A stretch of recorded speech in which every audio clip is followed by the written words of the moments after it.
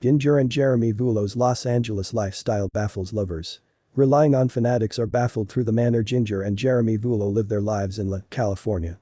Since the Duggar couple moved to LA. From Laredo, Texas multiple years ago, fans have been wondering how they are able to pay the bills. A current post sparked this dialogue once again. Preserve studying to get all of the info and see what fans are pronouncing. Jinger and Jeremy Vuolo proportion their lives in LA. Even though Counting On has come to and give up, the Vuolos keep to preserve Duggar fans updated through social media. On Instagram and YouTube, they give lovers a peek into their lives at the West Coast. The couple is frequently going out to devour, playing fun outings, and more. In addition they seem to love going shopping and are frequently putting their stylish clothing on display, too.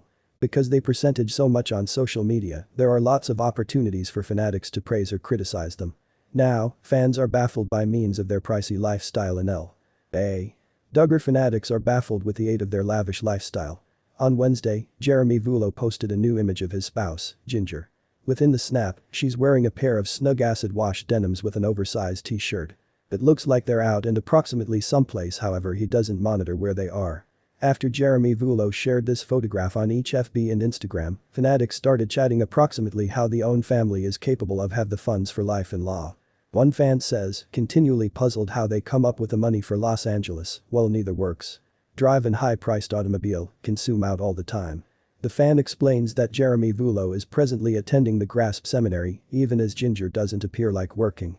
That's why such a lot of fans have questions about how they pay the bills and lift their daughters, Felicity and Evangeline, in a more highly priced location. As we previously suggested, Fanatics' idea that the Vuolos is probably able to manage to pay for lifestyles in LA. Because their home is paid for with the aid of the seminary he's attending. But, the couple hasn't come out and shared the personal info in their price range. So, there's no manner to recognize for certain. The Vuolos have also written more than one books, have a YouTube channel, and feature tried to make cash and other approaches without running conventional jobs.